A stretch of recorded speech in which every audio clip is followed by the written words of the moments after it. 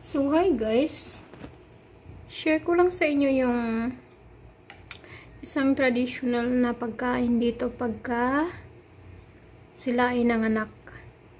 So, ito siya, ano to siya, butter. Tapos, nilagay yung tamar. Tapos, nilagyan siya ng seeds. Yun yung isa sa pinaka pagkain nila dito pagka nanganak sila.